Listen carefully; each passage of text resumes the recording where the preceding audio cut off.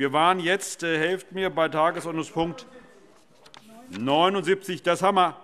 Nee, da kommen wir jetzt zu. Alles klar. Ich komme zu Tagesordnungspunkt 79.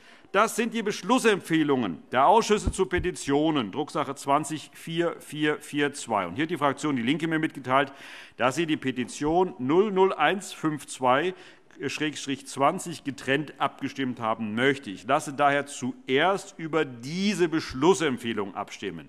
Wer ist für die Annahme der Beschlussempfehlung zu der Petition 00152-20? Das ist die AfD, die Freien Demokraten, die CDU, BÜNDNIS 90 die GRÜNEN, die Sozialdemokraten.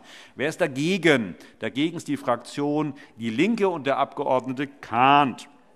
Damit ist die Beschlussempfehlung angenommen. Ich lasse nun über die übrigen Beschlussempfehlungen der Drucksache 20-4442 abstimmen. Wer stimmt diesen Beschlussempfehlungen zu? Das ist CDU, Freie Demokraten, ähm, AfD, BÜNDNIS 90 die GRÜNEN, die SPD, DIE LINKE, ja, auch der Abg. Kahn. Gibt es jemanden, der dagegen stimmt oder sich enthält? Das ist nicht der Fall. Damit haben wir die Beschlussempfehlungen angenommen.